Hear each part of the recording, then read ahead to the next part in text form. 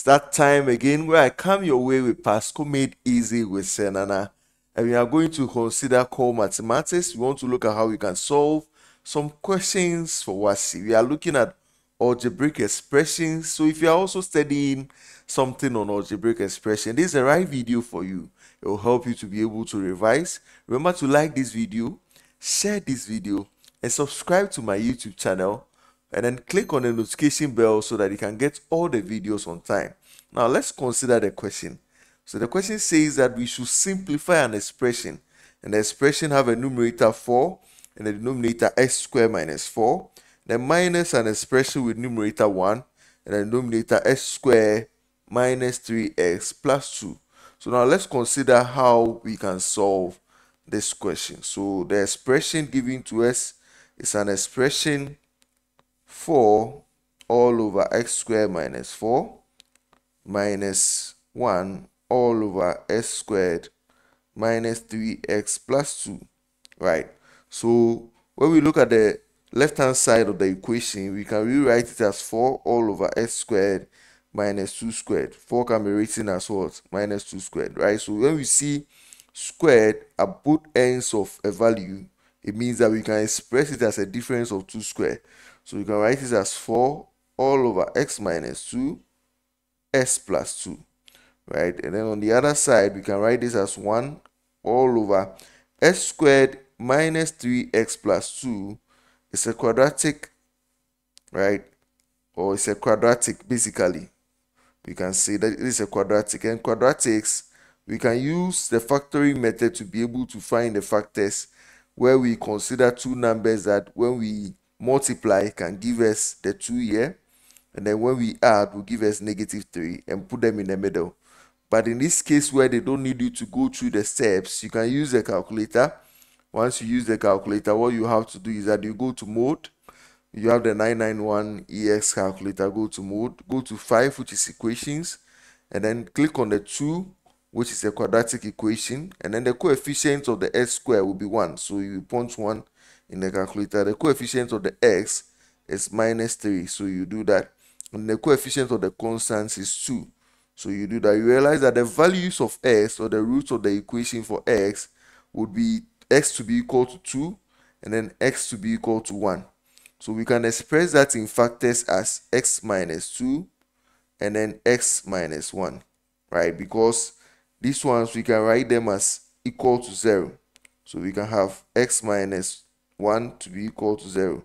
And then x will be equal to 1, which is the answer you got from the calculator. And you can also write it as x minus 2 to be equal to 0.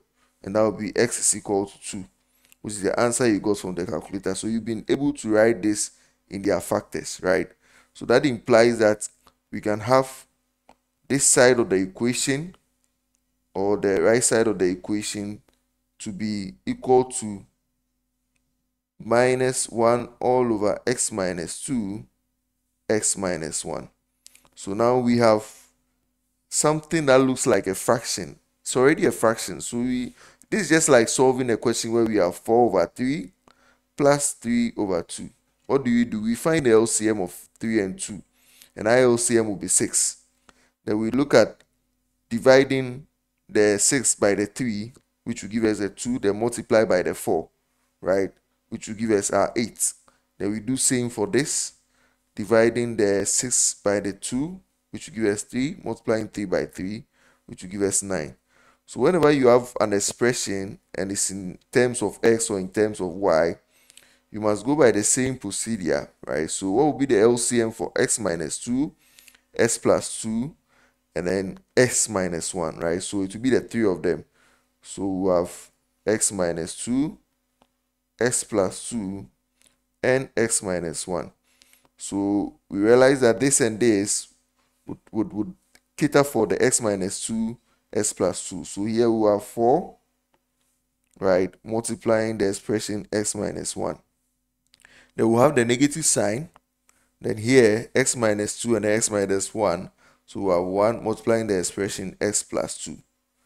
So once we get here, we must just expand for the numerator part of the equation. So that will imply that we have 4x minus 4 minus x minus 2 all over x minus 2 s plus 2 and x minus 1.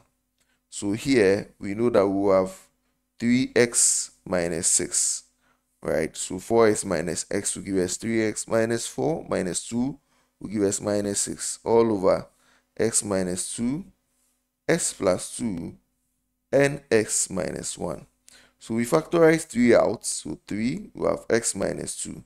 Because when we have 3, we have 3 multiplied by x giving us a 3x here. And then 3 multiplied by 2 or negative 2 which will give us a negative 6 here. All over x 2, x 2, and x minus 1. So we can cancel out the x minus 2. Then we'll have our final answer to be 3 all over x plus 2 and x minus 1. Right. So our answer for the simplification will be 3 all over x plus 2 x minus 1. Remember to like this video, share this video, and subscribe to my YouTube channel. And don't forget that when you have questions on algebra, all you need to do is to ensure that you simplify it as much as possible.